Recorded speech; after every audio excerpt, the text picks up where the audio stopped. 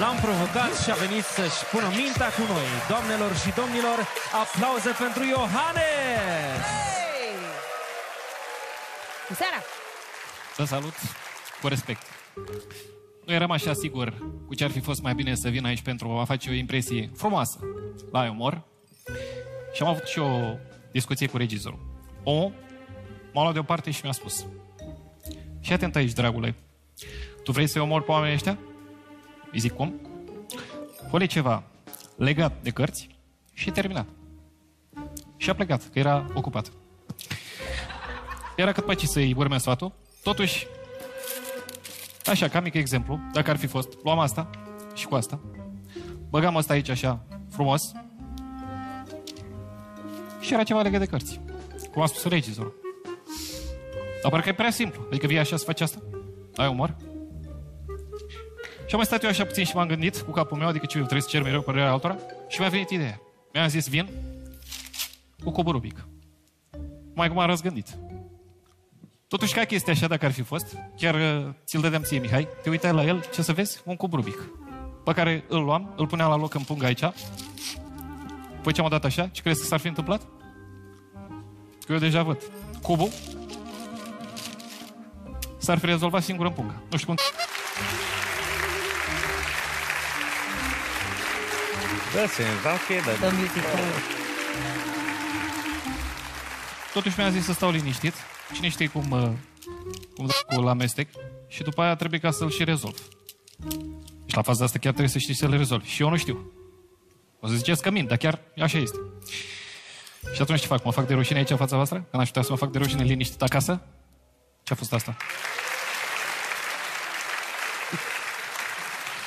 Am mai stat eu așa un timp fără idei și la un moment dat mi-a venit o idee genială, domnule.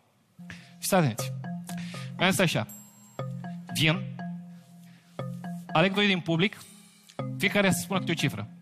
Și ca să n-ai impresia cumva că ne cunoaștem ceva, știu că e vreun aranjament ceva, aruncam cu ceva în public. Ceva la întâmplare așa, ce încă de la mână. Aruncam... O scuzați. Aruncam cu un obiect să spunem în partea aia.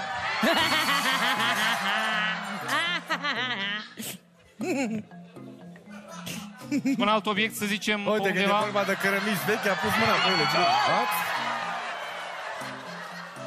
Și acum ce credeți că s-ar fi întâmplat? O nenorocire, bineînțeles. Ieșeau ăia doi și în starea lor de confuzie, pe care trebuie ca să o facă un adevărat artist, un adevărat magician, eu o fac instant metoda asta. Ce credeți că ar fi spus? Că toți spun același lucru. 26.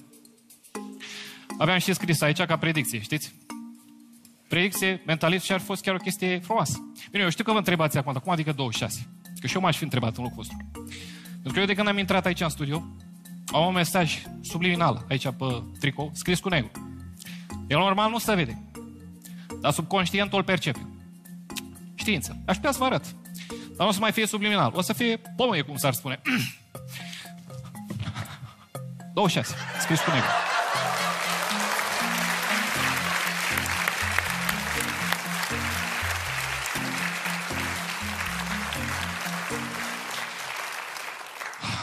Mi-a zis totuși că e cam uh, complicat și arunci cu toporul în public, adică e violent și vii la o emisiune de umor.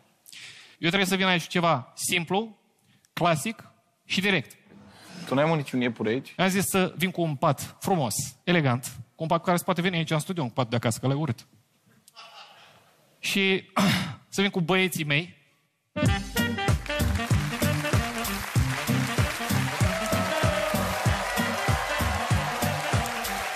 te pingi așa.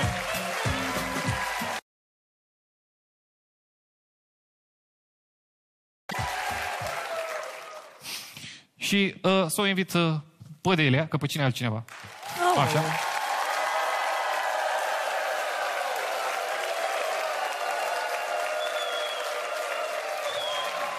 Să se așeze aici frumos, elegant, să așeze, să se simtă comod, uh, ca la ea acasă, că într-un fel chiar așa și este. Sincer, uh, să- te rog, întinde-te. Și acum, ce credeți că mi-a venit așa? Ce idee mi-a venit? Să scoată un iepure din căciula aia. Uh, nu, stai mai normal așa.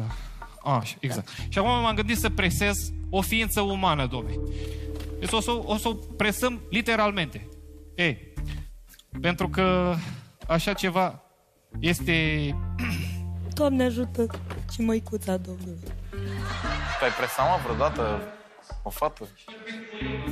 Nu știu, să se întâlnească cu tine, să, să o presezi pe genul, haide, haide, haide. Hai, te rog frumos. Hai, te rog frumos, eu așa presam. Nu știu, Era așa, copil? să le faci așa, nu am.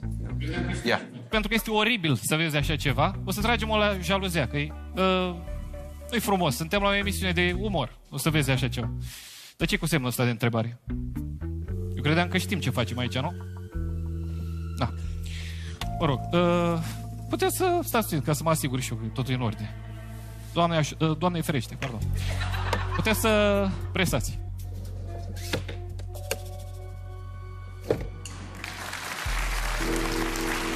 Întoarceți spatele ăsta. Poți să o nu mai aduci înapoi? Ei, domne, asta e ca să dea bine, domne, că așa e frumos. Este un macrame. Dar pentru oameni care au terminat o facultate, scoateți ăsta, nu nicio problemă. Asta este. Noi uh, ne desfășurăm viața în dimensiunea 3D. Aici mâncăm, bem uh, și facem și alte lucruri. Uh, Dar Delia este acum în altă dimensiune.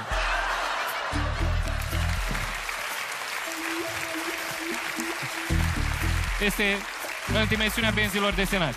Cred că asta o să fie pe viitor, știi, când călătorești undeva. Te faci Aveți la cală sau la... Plic. Nu, am... La plic vreau. Te vreau la pas. Am să vin să las aici, pe Delia. Crede-mă că eu mă sărbătoream deja dispariția E ei. cea mai bună formă în care a fost ea vreodată. Îți mulțumesc din suflet. În sfârșit, tace și nu mișcă. Excelent. Excelent. Așa o să jurizeze Delia, a făcut afiș. Da? Nu, nu știu. Nu te bate la cap. Și vă doresc să fiți sănătoși pe 2019 și poate ne vom vedea și altă dată tot la fel sau poate chiar mai sănătoși, deși eu sunt chiar sănătos. Adică, Salut! Excelent. Acum, hai să scăpăm și de masă, ca să fim siguri. Bă, dați-l înapoi pe Delia. Bă, Iohannes. Excelent. Voi ce vedeți acolo, mă? E... E... Bagi un om, scoți un carton.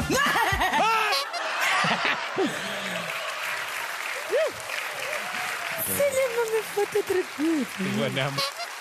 Ține. Ține, mă, mecă. E cum stăteai așa cu mințeică? Ha, cum ai încăput acolo? E magie. Bun, acum că ne-am mai încălzit un pic și ne-a trecut tracul de început, eu zic să ne organizăm. Când Bendeac simte pericolul, ia inițiativa. Doar uniți învingem. Bine, Oleg. Bă, Maestre. a fost un sezon ne-am rupt creierii. Uneori ne-am mai și certat, ne-am mai și... Acum suntem foarte obosiți. Nu, nu, nu. Și nu ne-am certat. Mă rog, în care, un sezon în care... Lăsa loc de- Da, un sezon, face asta, deci da, faci- un, un sezon în care nu ne-am, și nu ne-am certat, așa. dar care a fost obositor. Orice s-ar întâmpla, ieșim împreună din situație, da? Da? Mă ajuți? Da. Mă ajuți? Da? Te ajut. Eu te ajut. Dacă ceva nu-ți place, eu te ajut.